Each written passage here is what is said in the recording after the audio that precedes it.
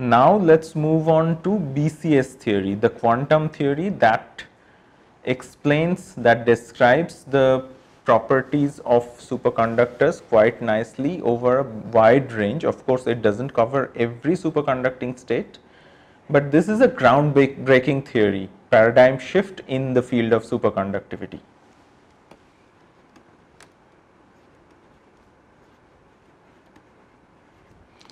Uh, many discoveries and inventions in the field of superconductivity fetched Nobel Prize.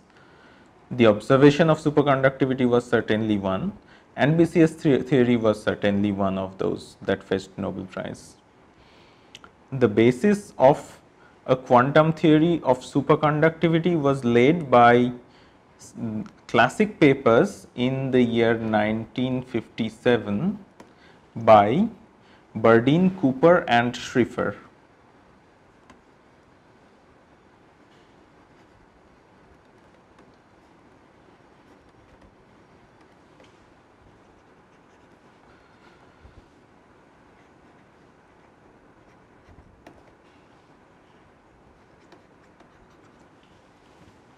and hence the name acronym BCS.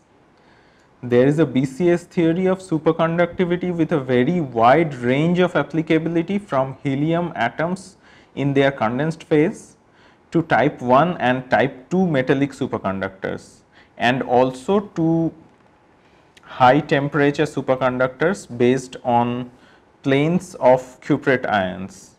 Further, there is a BCS wave function corresponding to particle pairs k up and minus k down with wave vector k and spin up and wave vector minus k and spin down.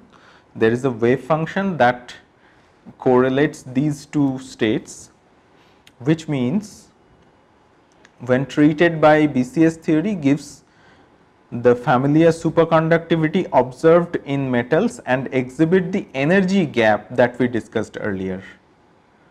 This pairing is also known as S wave pairing.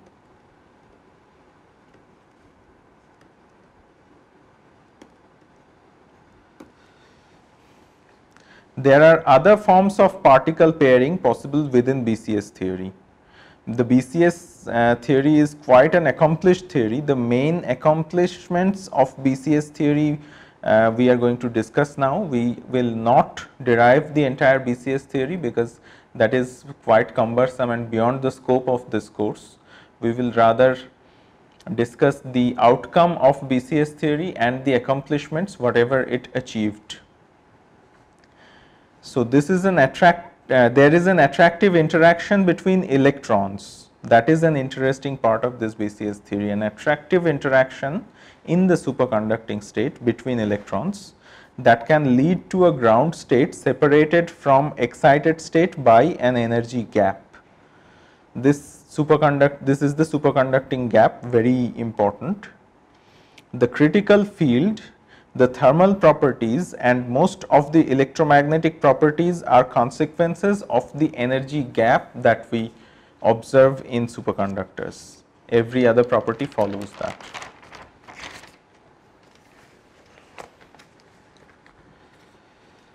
The electron lattice electron interaction leads to an energy gap of the observed magnitude. The indirect interaction proceeds when one electron interacts with the lattice and deforms it. A second electron sees the deformed lattice and adjusts itself to take advantage of the deformation to lower its energy. Thus, the second electron interacts with the first electron via the lattice deformation. The penetration depth and the coherence length emerge as natural consequences of the BCS theory. The London equation is obtained for magnetic fields that vary slowly in space. Thus, the central phenomenon in superconductivity, the Meissner effect is obtained in a natural way the criterion for the transition temperature of an element or alloy involves the electron density of states which we write as d of energy at the Fermi energy this F of one spin at the Fermi level and the electron lattice interaction u which can be estimated from the electrical resistivity because the resistivity at room temperature is a measure of the electron phonon interaction. If we have u times this density of states at Fermi level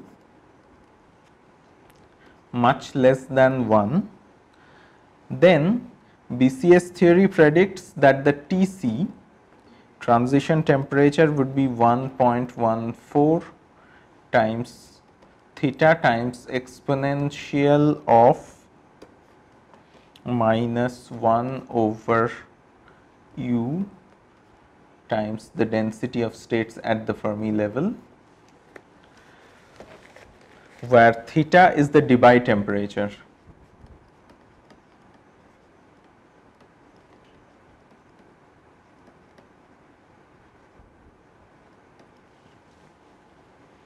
And u is an attractive interaction. The result for Tc is satisfied at least qualitatively by the experimental data. There is an interesting apparent paradox the higher the resistivity at room temperature, the higher is U and thus more likely it is that the metal will be a superconductor when cooled. Magnetic flux through a superconducting ring is quantized and the effective unit of charge is twice that of the electronic charge rather than the electronic charge. The BCS ground state involves pairing of electrons making flux quantization in terms of the pair charge twice E. It is a consequence of this BCS theory. Now, let us discuss the BCS ground state.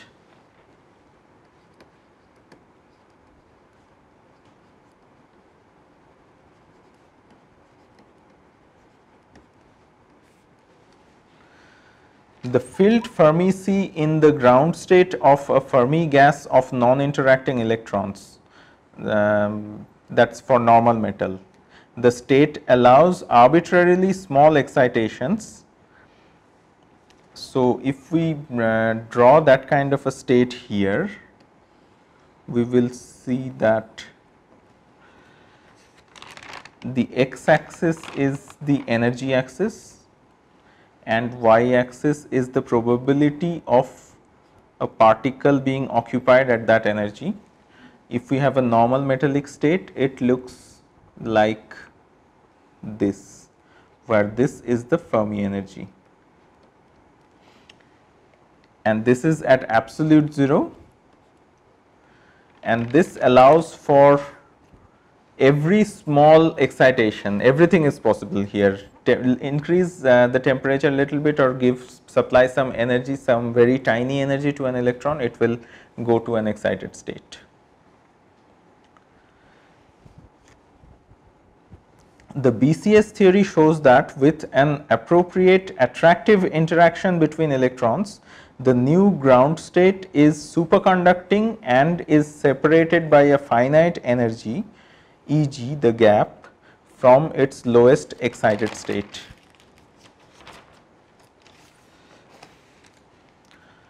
What kind of situation would that make?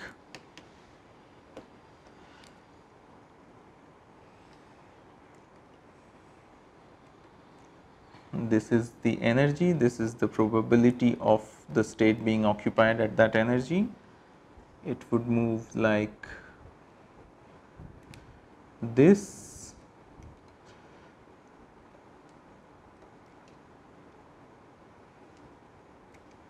where this much is the energy gap.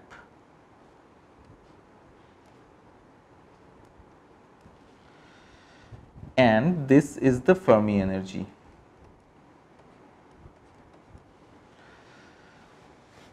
The BCS state that is described in B here that contains admixture of electronic state from above the Fermi energy EF that is marked here. At first sight we can see that BCS state appears to have a higher energy than the Fermi state here in A. but that is about the kinetic energy that we see here.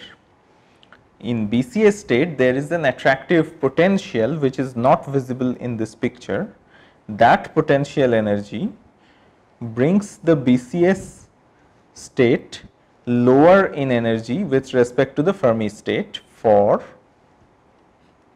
certain temperature and magnetic field within a range of temperature and external magnetic field.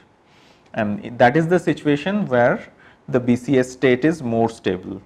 When the BCS ground state of many electron system is described in terms of occupancy of one particle orbitals, those near the Fermi energy are filled somewhat like Fermi Dirac distribution for some finite temperature as we are familiar with this kind of a distribution. The central feature of the BCS state is that one particle orbital are occupied in pairs. If an orbital with wave function k and spin up is occupied, then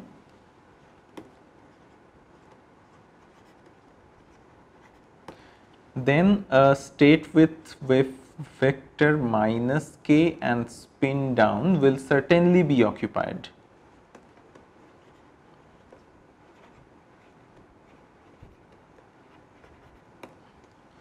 If this is unoccupied, k up is unoccupied,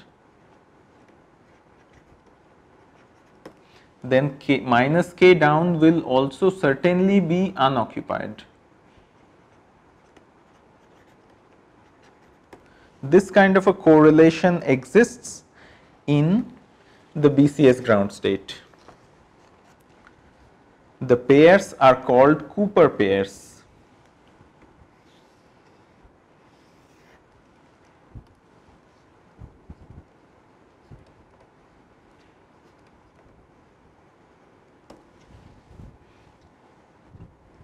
They have spin 0 and many attributes of bosons.